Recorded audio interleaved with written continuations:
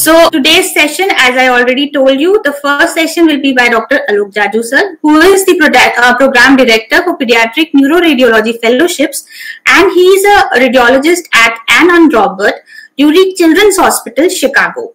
Uh, he is assistant professor at Northwestern University, Feinberg School of Medicine. So uh, let us start with sir's session for today. Hello everyone. It's an absolute pleasure to be speaking at this MRI conference today, and I would like to thank Dr. Patkar and the organizing team for the invitation. Today I'm going to talk about pediatric posterior fossa tumors.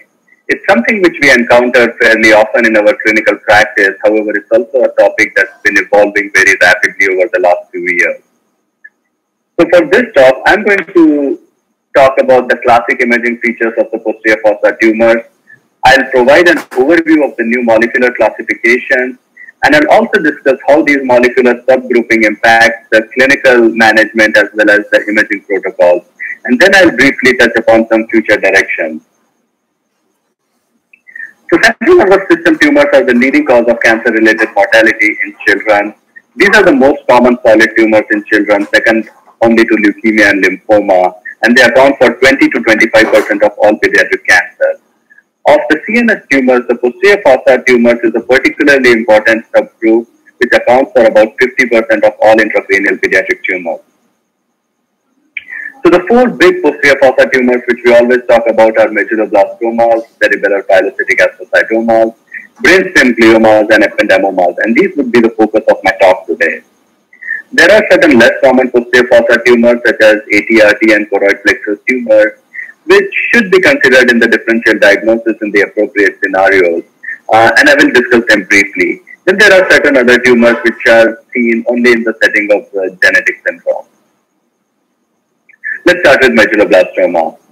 Medulloblastoma is the most common malignant brain tumor of childhood. It's also the most common posterior fossa tumor, accounting for about 40% of uh, posterior fossa cases.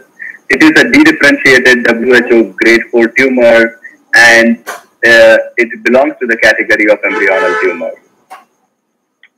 The peak age for medulloblastoma is 4 to 10 years, although it can be seen from infancy through adulthood. About two-thirds of these tumors are located in the midline involving the fourth ventricle, although they are centered more towards the roof near the vermis. Um, although uh, one-third of these patients, one-third of this tumor can also be eccentric, whether in the CP angle or along the cerebellar peduncle, and we'll talk about them in a bit. This is the typical imaging appearance of a posterior fossa medulloblastoma. On the non-contrast head CT, we see a hyperdense mass centered in the fourth ventricle, which on MRI demonstrates diffusion restriction, ISO 2 hypointense T2 signal, and mild but diffuse post-contrast enhancement.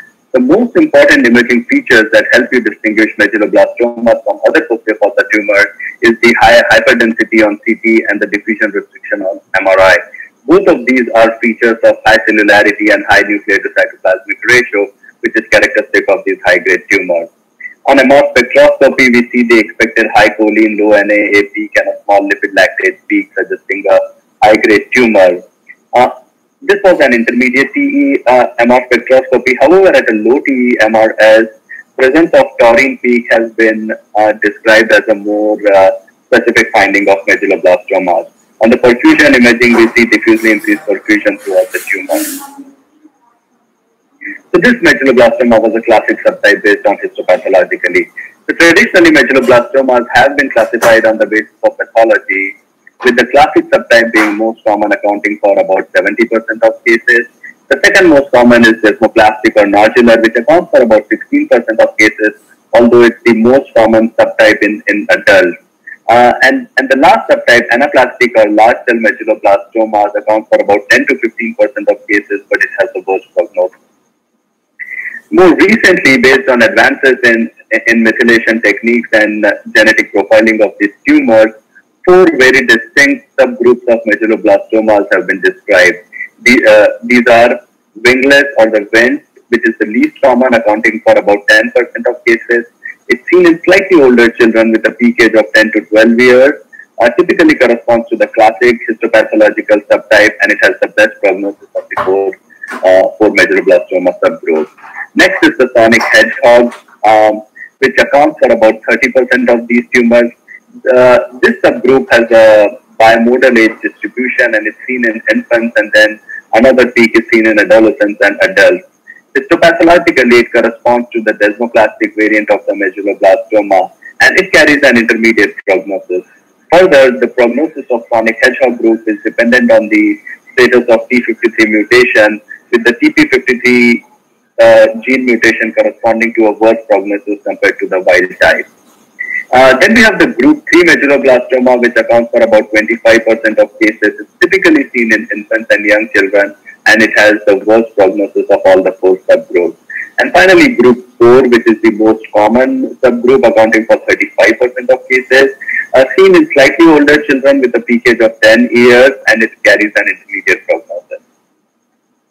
So the importance of these molecular subgroups has uh, significantly increased in the recent years, and now these are being used for risk stratification and treatment planning. This is also reflected in the most recent WHO classification from 2016, which now di- divides medulloblastoma along uh, according to genetically defined subgroups as well as histologically defined subgroups. For an individual case, the onus is on the pathologist to take into account all the histological, immunohistochemical, and genetic features and come up with a unifying diagnosis as far as possible.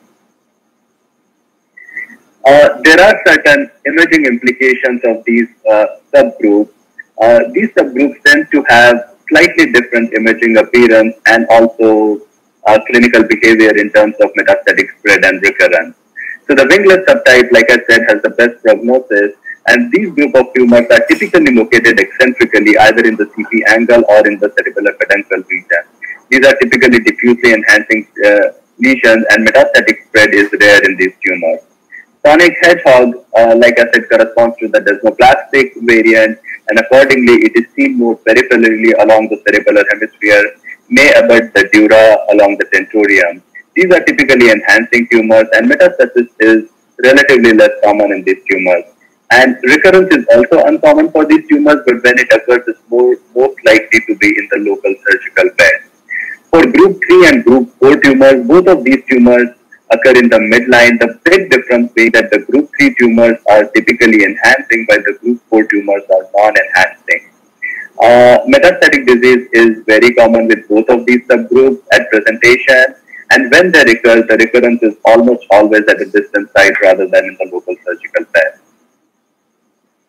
Uh, these are two different patients with different subgroups of medulloblastomas. The patient on the left side has a heterogeneously hyperdense mass centered in the right cerebellar peduncle with patchy diffusion restriction and post-contrast enhancement. Also on the T2 weighted images, there is heterogeneous appearance with hemorrhage and cystic change. So based on the location, uh, this is most likely a WNT subtype, which it turned out to be.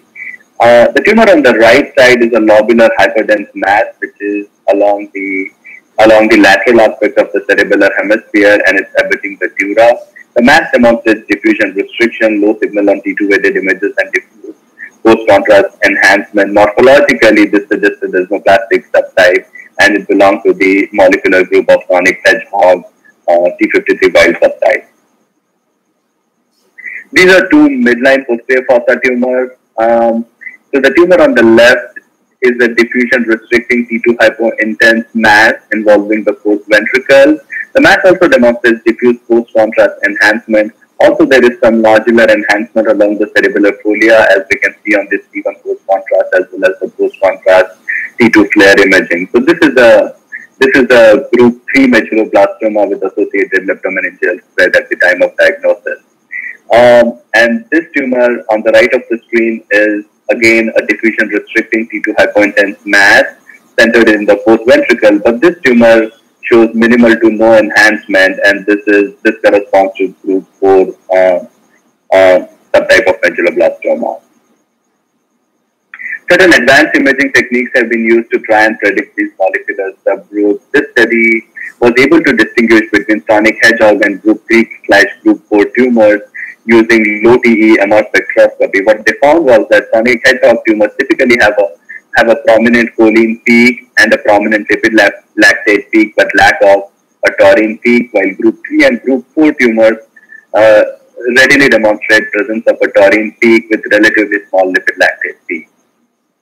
Also, there are multiple attempts being made to use machine learning and uh, artificial intelligence technique uh, to distinguish between different molecular subgroups of medulloblastomas as well as uh, uh to predict response to treatment. Uh, one such study which used um, which used radiomic uh, feature extraction technique um, was able to distinguish between sonic hedgehog and group 4 medulloblastomas. Um, CSF dissemination, like I said, is fairly common in medulloblastomas. It's seen in about 11 to 43% of the patients. It can be intracranial and or intraspinal. Uh, this is most common in group 3 and group 4 and rare in the other two molecular subgroups. Hematogenous metastasis to bone and liver has been described, but is it's extremely rare. So these are two different patients with disseminated metastatic disease. The patient on the left side has a small diffusion restricting and enhancing fourth ventricular mass with extensive leptomeningeal metastatic disease along the cerebellum as well as uh, throughout the spinal cord, including the thecal sac terminus. Again, this is one of, a common one of the common imaging appearance of group 3 medulloblastomas where the primary tumor can be relatively small even in the presence of extensive metastatic disease. The patient on the right side has a sizable ventricular tumor which only demonstrates mild and patchy enhancement but there is extensive metastatic disease throughout the cerebellar folia and on the surface of the uh, surface of the spinal cord. In addition, there is this enhancing T2 hyper intense intramedullary lesion within the lower spinal cord, uh, which corresponds to a drop metastasis within the central canal of the spinal cord. Um, as we said, group 4 tumors can often be non-enhancing or minimally enhancing, and that is also reflected in the metastatic disease. Oftentimes, the mets can be non-enhancing. For example, in this patient, it's very difficult to identify the metastatic disease on this post-contrast T1-weighted imaging. However, we can readily see these nodular mets along the cerebellar folia on the diffusion weighted and the post-contrast FLAIR images. It's very important to obtain the FLAIR imaging post-contrast for these uh, uh, tumor patients, and it's also important to look at the diffusion weighted and the post-contrast images very carefully, not just in the resection bed, but elsewhere to look for leptomeningeal metastatic disease. Another technique that can be helpful um, in problem solving could be uh, diffusion weighted imaging in the spine. For example, in this patient, there is this nodular metastatic focus along the dorsal aspect of the thoracic cord, which is seen more conspicuously on the diffusion weighted images. Similarly, there are two additional nodules along the chordite pinna which have been slightly better on the diffusion weighted imaging. Um, another technique which we have started using routinely in all our drop metastasis MRI protocol is a 3D high resolution T2 sequence like a CISS, PS, or a space. Um, for example, in this case, we see these two nodular foci along the ventral and dorsal aspect of the conus medullaris. Um, which we can also see on these coronal reconstructed images. And I think one of the advantages of this technique is that it is 3D and you can get nice axial and coronal reconstructions. And personally, I have found coronal reconstructions to be very helpful in many of these cases. So these two nodules are almost impossible to identify upon the post-contrast T1 weighted images. And you can faintly see them on the diffusion weighted images as well. Uh, moving on to next posterior fossa tumor, which is the cerebellar pilocytic astrocytoma. This is the second most common posterior fossa tumor, accounting for 30 to 35 percent of cases. These are benign astrocytic tumors, WHO grade 1, and they typically have an excellent prognosis with resection only without the need for chemotherapy or radiation. Uh, the peak age is 5 to 13 years, equally common in male and female. 50% uh, of these occur in midline location and 50% are hemispheric. The typical classic imaging appearance of a JPA, which is a cyst with an enhancing mural nodule, is seen in about 50% of cases. In about 40 to 45% cases, uh, there is a larger solid component with a central necrosis or cystic area, and less than 10% of these tumors can be completely solid and non-necrotic. So this is an example of a typical JPA. We see a mixed solid and cystic mass in the right cerebellar hemisphere with associated vasogenic edema, mass effect, uh, obstructive hydrocephalus. Uh, the fluid component does not suppress completely on FLAIRs, suggesting proteinaceous composition. Uh, and the solid component is hyperintense on T2 and lacks diffusion restriction uh, which are both useful feature in distinguishing it from higher grade tumors. The solid component also demonstrates diffuse post-contrast enhancement. This is the second morphological type of JPA where we have a predominantly solid mass with a central necrotic area. Again, the solid mass is hyperintense on T2, does not demonstrate diffusion restriction, and there is diffuse and avid post-contrast enhancement. Uh, this is a midline posterior fossa mass which is mixed solid and cystic. Uh, the solid portion is hyperintense on T2, does not demonstrate diffusion restriction, hypodense on, on uh, CT, and has diffuse post-contrast enhancement. If you just looked at T2 and the post-contrast imaging, this can be difficult to distinguish from a medulloblastoma. However, the diffusion weighted and the non-contrast CT images can be very helpful in, uh, in making that distinction. A brief word about the molecular alterations that can be seen in JPAs. This is the mitogen activated protein kinase or the MAPK pathway which is probably one of the most important oncogenic pathway in human cancer. It's implicated in pediatric low-grade tumors, some of the adult tumors, as well as in many cancer predisposition syndromes like NF1 tuberous sclerosis and certain hamartomas syndrome. As far as JPAs are concerned, the most important genetic alteration is seen in the BRAF molecule. So there are two types of BRAF mutations identified. One is the BRAF fusion, um, which is seen in about 70 to 80% of posterior fossa JPAs, and some authors now equate the presence of BRAF mutation to the diagnosis of JPA. And this is typically associated with better prognosis.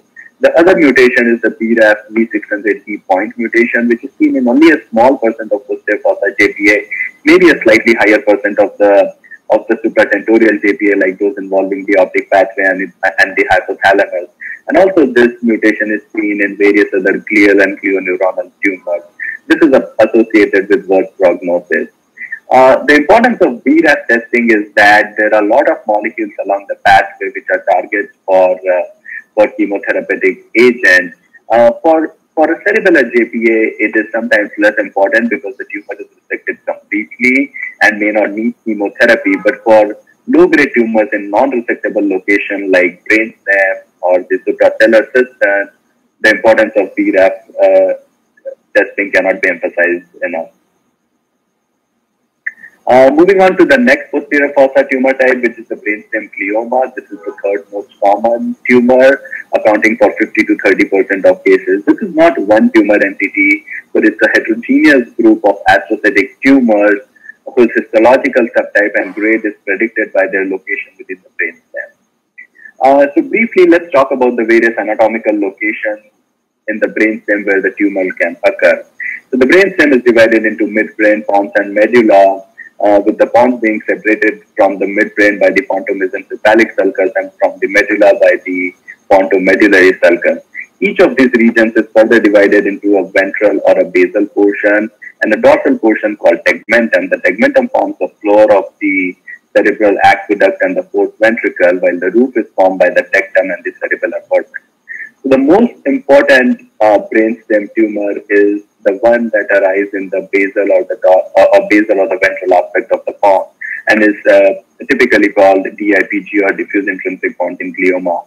These are high-grade tumors, very aggressive and have an extremely poor prognosis. The second tumor type in the brain stem could involve the midbrain, either in the tectum, which are typically grade 1 tumors. They do not require any treatment other than CSF diversion, or they can arise ventrally in the midbrain when they can also extend into thalami. These are also typically grade 1 but can be more infiltrative grade 2 to 3 tumors. When these tumors occur in medulla, they are more common along the dorsal aspect and they can have an exophytic component extending into the overlying extraaxial space and can involve the cervical spinal cord. And finally, the least common group of these dorsal pontine tumors. These are lower grade and the main importance is in distinguishing these tumors from the more aggressive ventral counterparts. So DIPG has been renamed in the most recent WHO classification as a diffuse midline glioma, which has the signature genetic alteration of K27M mutation within the H3 histone. DIPGs account for 60 to 75% of all brainstem tumors. They are fibrillary astrocytic tumors. They are, on histopath, they are grade 2 to 4. However, for practical purposes, they are all treated as grade 4 tumors because of the uniformly poor prognosis. The peak age is 3 to 10 years and they are equally common in male and female. Uh, the typical clinical presentation of these brainstem gliomas is ataxia and cranial nerve palsies like in this seven-year-old child. And this is also the typical clinical imaging, the typical imaging appearance um, on MRI. So we have this large T2 hyperintense heterogeneous infiltrating mass involving the pons. The mass extends exophytically into the prepontine cistern, encasing the basilar artery. On the sagittal images, we can see that the mass is centered more ventrally within the pons with, with mass effect on the floor of the fourth ventricle. There is no associated diffusion restriction. There is no post contrast in the uh, no post contrast enhancement in the mass, and the mass also extends into the right cerebellar peduncle and can sometimes also extend into the cerebellar hemisphere. A lot of imaging features have been studied uh, as predictors of prognosis within DIPG.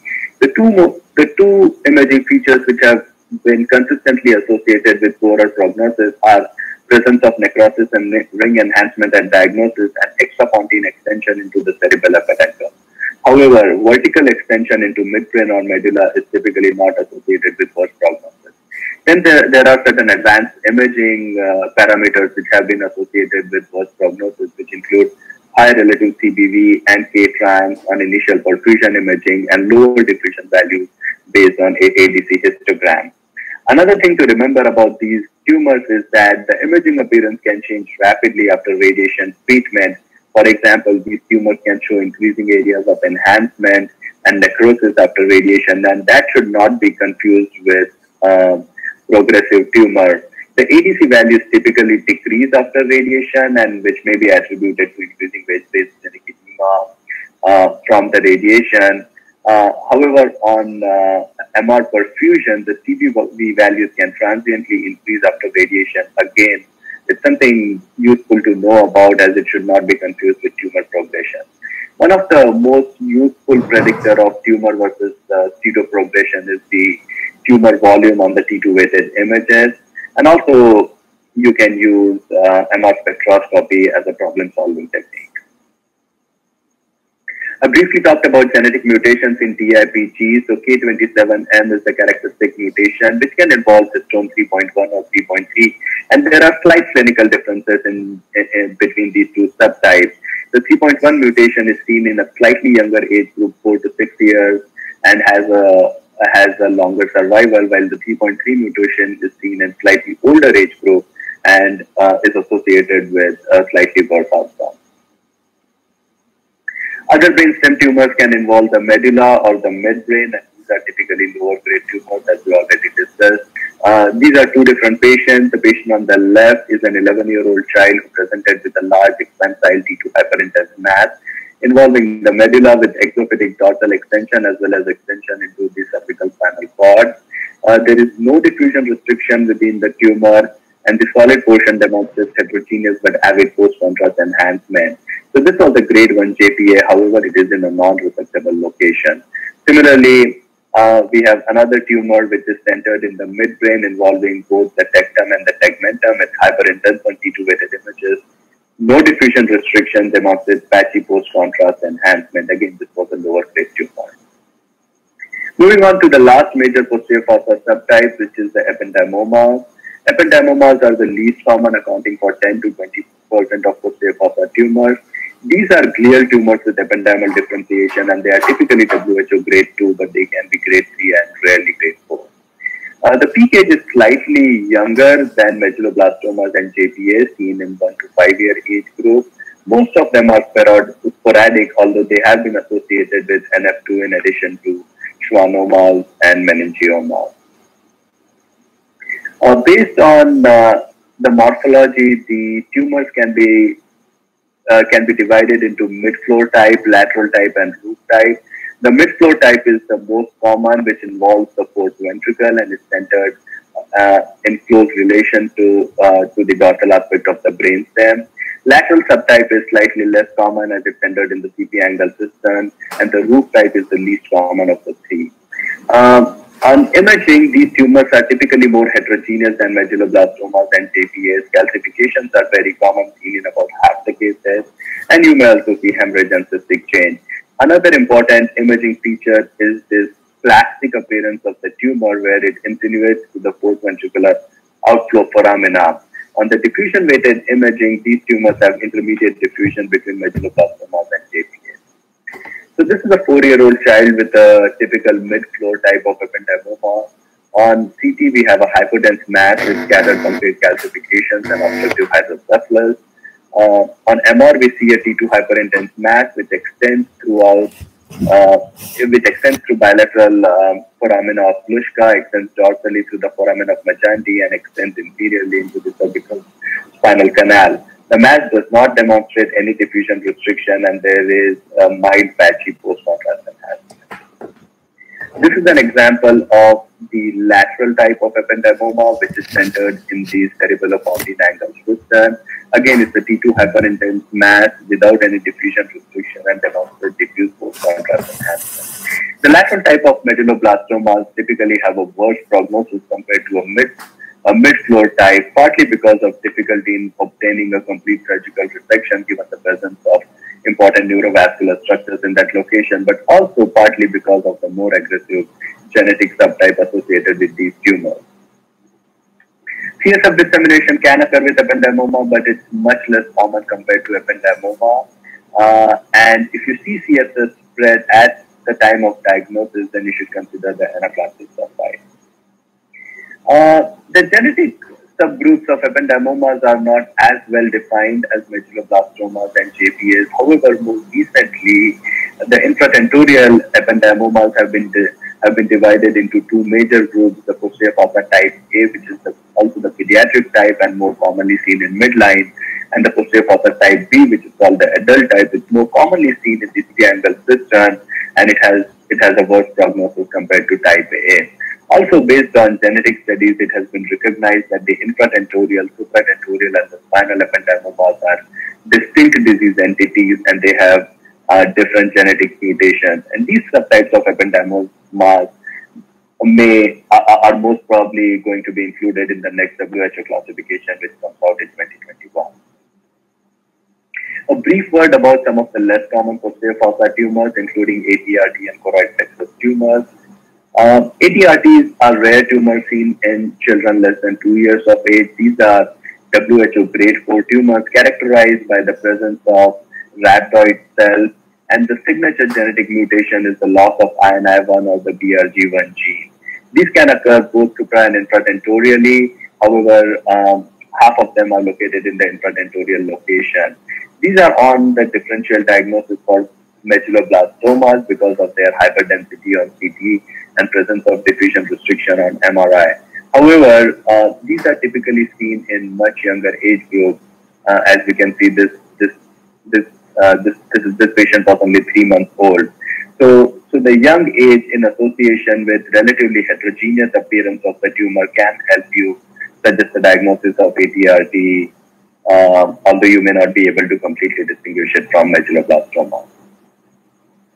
Choroid plexus papillomas, these can occur in pediatric as well as adult age group. The pediatric tumors are more commonly located in the lateral ventricle, while the adult tumors tend to be located in the fourth ventricle. The key imaging features for choroid plexus papilloma is the morphology of the tumor. They have this lobular frond-like appearance uh, uh, to, to the margins. These are typically hyperintense, demonstrate post-contrast enhancement, and speckle calcification is very common, seen in about 25% of uh, patient. So this is an 18-year-old with choroid plexus papilloma. We have a hypodense mass centered in the fourth ventricle with multiple complete calcification. The mass is hyperintense on T2 weighted images, does not demonstrate diffusion restriction, and there is diffuse post-contrast enhancement.